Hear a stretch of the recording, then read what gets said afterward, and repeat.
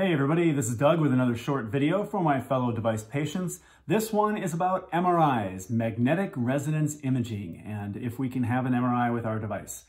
Uh, now, I remember I'm not a medical professional giving medical advice. I'm just some guy on the internet. So if you are told that you need an MRI, please talk to your cardiologist or your electrophysiologist, or you can contact your medical device manufacturer and they will be able to help you determine if your implanted system is safe in an MRI environment. Thanks.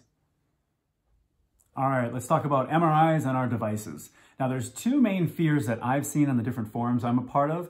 Uh, the first is that somehow the MRI uh, machine will damage our device. That's a pretty valid concern.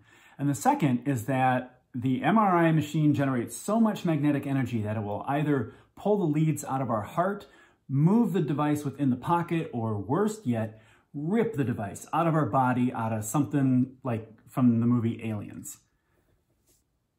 Hmm. What's that? Yeah, that's not gonna happen. And here's why. Our devices are made of titanium, and that's a non-ferrous material. That means it's not magnetic. So I can take this magnet, which you've seen me use in a couple of different videos, and here's my car keys, and you can see that that's a pretty strong magnet. That's gonna hold my car keys. So let's take a look at what they do with the different devices. So here is a pacemaker. This is a real Medtronic pacemaker. You can see that there's no magnetic reaction to it at all. Uh, here is my first ICD. This was my original one. I only had it for a few months before I had a replacement. Uh, long story on that. You can see my name is on it. Uh, this is actually a non-MRI safe device. So is that first pacemaker, technically non-MRI non safe. But here we go. No magnetic reaction there. Here's their next generation ICD. Again, no magnetic reaction. So, uh, oh, here's another one. This is a Micra. That's a real deal right there. That's a, a, their new single chamber pacemaker. It goes inside the heart. And you can see no magnetic reaction there either. So our lead, or our devices are, are non-ferrous. They don't, they aren't attracted to magnetic power like in an MRI machine. So they're not gonna move within our body because we're in an MRI machine. But what about the leads?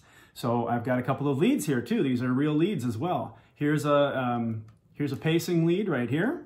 Uh, it's got a tined tipped on it. That's kind of gets pushed into the heart.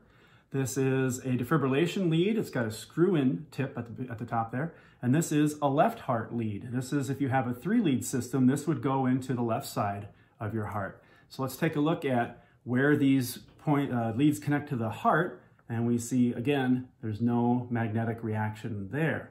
So let's go to the middle of the leads.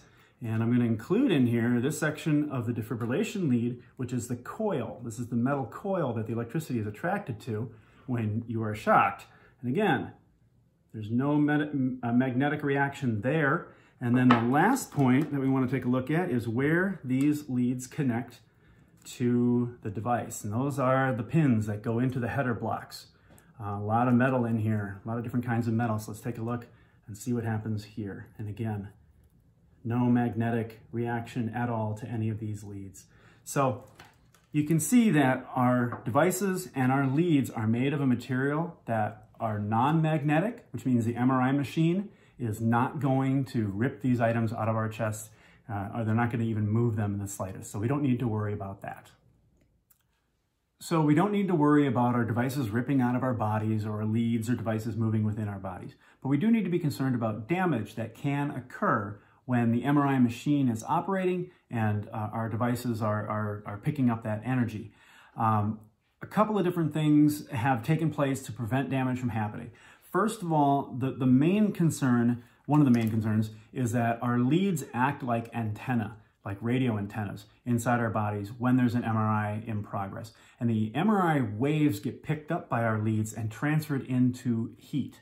Uh, the heat, when it goes to the heart, damages the heart muscle. If it goes to the device, it damages the device. So the first thing is that they've redesigned the leads, and they did this actually a couple decades ago because they, they understood back then how MRIs, uh, how MRI waves would be picked up by our leads. So they designed our leads in a way that prevents them from picking up that energy. It has to do with the length of the lead. It has to do with the way that uh, coils are wrapped, uh, how far apart they are and how long they are. Uh, they just design it in a way so that that MRI um, uh, that magnetic energy is not picked up like an antenna. That's the first thing they did. Uh, the second thing they did is they redesigned our devices so that devices can be MRI safe now. Um, maybe someday they'll get to a point where the device itself will detect an MRI field and will automatically switch over to an MRI safe mode. But right now what needs to happen if you have an MRI safe system is that a, uh, a company representative needs to come to you at the MRI company. They need to put your device into safe mode and then after the MRI they need to switch your device back into normal operation. So what happens when they switch you into MRI safe mode? It's different between pacemakers and defibrillators.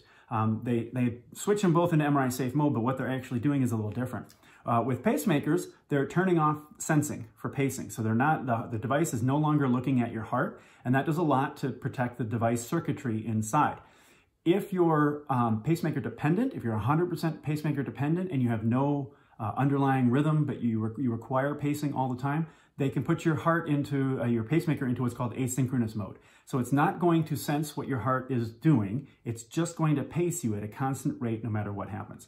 Now that's MRI safe mode. Again, after the MRI is done, they switch it back to your normal programming.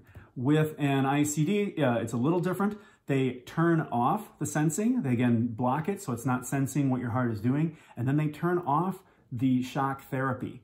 Uh, so they're going to need to monitor you externally during an MRI. Um, and again, that's done so that they can protect the circuitry inside the device and prevent it from getting damaged. Now, the important thing to remember is that while our devices can be MRI safe, uh, making, making it safe to be in an MRI environment, our leads also have to be MRI safe. This is why you can have, this is how you can have an MRI safe device, but not have an MRI safe system. If you have a lead that's been in your body for 25 years, even if it's no longer used, even if it's been capped and you're using other leads, if that lead is inside your body and that lead is not MRI safe, then you shouldn't have an MRI done. Uh, there are instances where leads designed 20 years ago have been retroactively approved to be MRI safe, and that's okay. Those leads are, are still in patients' bodies, and now you can get an MRI with those leads. But when you're going in for an MRI, you do need to make sure that your entire system, your device, and your leads is MRI safe. And that includes the leads that have been left in your body and are no longer being used. A couple final things. First of all, it's not really your responsibility to understand this and to know this information. All you need to do is let your MRI tech know that you have an implanted system and they should be able to do the legwork for you. If you have questions, you can contact your electrophysiologist or your cardiologist or you can call the manufacturer of your device and ask questions about if the system you have implanted is MRI safe. The other thing to know is that there are institutions out there who will do MRIs on systems that are not considered MRI safe. These are usually in major metropolitan areas. They are usually major hospitals that have done extensive research on the topic. They have detailed protocols in place to make sure that there's no damage done to the system. But if an MRI is absolutely urgent for you and you're told that you can't have one, there are some hospitals in major metropolitan areas that have been doing MRIs on devices for quite some time. So you can contact them and see if they can help you out.